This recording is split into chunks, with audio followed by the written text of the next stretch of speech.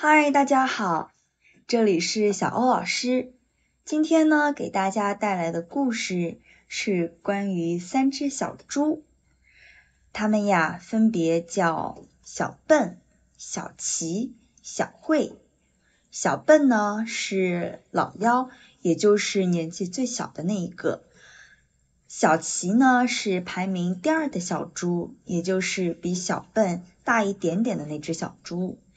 小慧呢是年纪最长的小猪，也就是这三只小猪中的老大。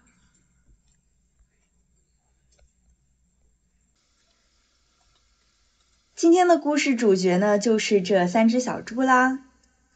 那故事的起因呢是三只小猪小笨、小奇、小慧，他们需要造建自己的房子，但是呢，他们有不一样的。造建房子的方式。首先，第一只小猪小笨呢，它首先找到了自己房屋附近的稻草堆，它呢用稻草造建了自己的房子。第一只小猪小笨呢，它十分的懒惰，它就在自己家的附近呢找到了。一堆稻草，他从啊这堆稻草中尝试找到一些材料，能够使它造成一座美好的房子，也就是我们的稻草屋。然而，第二只小猪小奇呢，它比小笨要稍微勤劳一点点，也更聪明一点点。于是呢，它找到了一个木头堆。然后用木头造建了自己的房子。然后我们的第三只小猪小慧呢，不愧是我们这三只小猪中的老大，它比前面两只小猪都要更聪明、更用心一些，一直都在想办法如何能够造建一所房子，让它在狂风暴雨中屹立不倒呢？于是他找到了非常有用的东西，也就是我们的砖块。于是呢，他用砖块造建了这座石头砖块房。这时候，突然出现了一只大灰狼，嗷！于是呢，这只大灰狼看到了我们第一只小笨。小猪的稻草屋，于是他吹了一口仙气，结果我们的第一只小猪本来它高高兴兴的躲在这个房间里的，马上这个房子就灰飞烟灭了，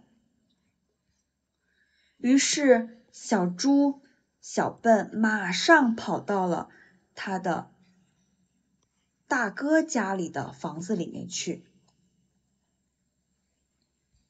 于是呢，大灰狼他又朝第二只小猪，也就是我们的小奇小猪的木头屋，狂吹了一口气。